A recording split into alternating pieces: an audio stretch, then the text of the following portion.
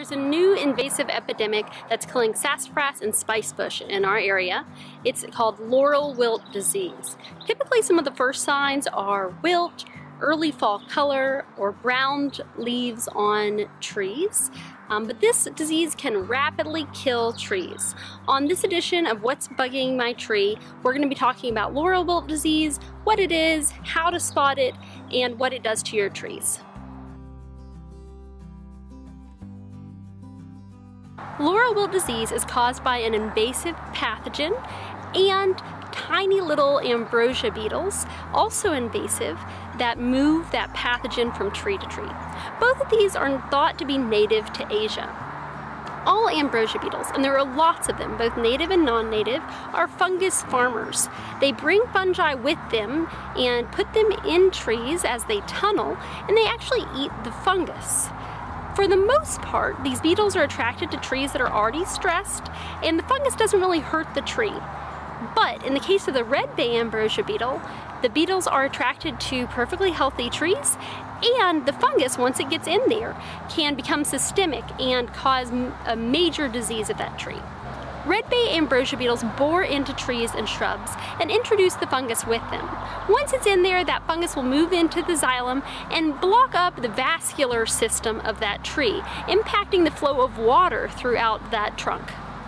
Death can occur rapidly, within a few months to a few years for sassafras. Laurel wilt only impacts plants in the Lauraceae family, the laurel family. In our area, this includes spicebush and sassafras. Further south, there are lots of other hosts, including red bay laurel and even avocado. Despite its name, mountain laurel isn't impacted by laurel wilt disease at all. It's in a different family that is not likely to be impacted in the future. Laurel wilt symptoms include initial wilting, those leaves looking like they don't have enough water, maybe a discoloration and turning yellow, or a bright fall color, dropping leaves, symptoms that you might easily confuse with water stress. Dead sassafras leaves are kind of a reddish brown color and they'll remain attached to those trees for several weeks after they're killed by laurel wilt disease. Dieback might be centralized in one particular branch or part of the tree or throughout the whole canopy. In addition, you might get trees where the top is killed, but they're sending up new shoots out of the root system. The wood just under the bark and that vascular system can be really darkly stained with laurel wilt disease. You'll see these dark, black, streaky stainings, that's the fungus, in the tree as well as the tree's defensive response to it. If you look really closely, you might also see some tiny circular holes on the outside of the tree, maybe even some little toothpick uh, looking protrusions from those. That's caused by those red bay ambrosia beetles that are moving this disease from tree to tree. However, it only takes one introduction of the fungus to kill the tree, so you might not notice this, and those holes are very tiny. Laurel wilt disease is not the only thing that kills sassafras. From armillaria root rot to many other issues. If you've got declining sassafras, it's important to kind of look through all of those different symptoms to make sure what you're seeing is laurel wilt disease and not something else. Laurel wilt disease was first detected in Georgia, but now it has spread through much of the southeast, impacting 11 states already. It was first introduced to those coastal areas where red bay laurel is the dominant uh, tree that's killed by them. Millions of trees have been killed. However, since then it's jumped further north uh, where sassafras is a more dominant uh, tree in our forests.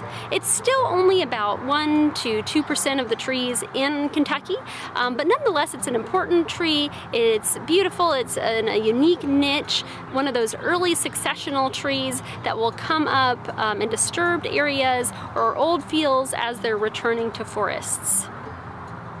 Laurel was first detected in Kentucky in 2019.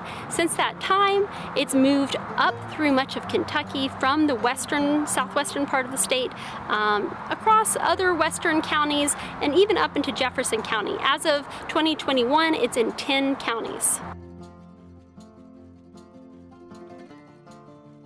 Currently, there's no treatment that can protect trees from laurel wilt. If you do find trees, you could consider cutting them down and chipping them to reduce those beetle populations. But even with that, we're not sure how effective it will be to control the populations of the red bay ambrosia beetle and to stop the spread of laurel wilt disease. Although ambrosia beetles can certainly fly from tree to tree, the main thing that's spreading them around, I think, is probably us unintentionally moving contaminated wood. Um, for example, firewood from counties that are infected to counties that don't yet have it. So a big thing that you can do is just not to move around firewood or any other wood that might have laurel wilt disease in it. Not only is this important for laurel wilt disease, but there are lots of other insects and diseases that we don't want to move around. Early detection of laurel wilt or any other invasive issue is key. So if you see something, make sure to report it to your county agent or the Kentucky Division of Forestry. Thanks for joining me today and learning more about laurel wilt disease. If you'd like to learn more, make sure to check us out online and follow us on social media.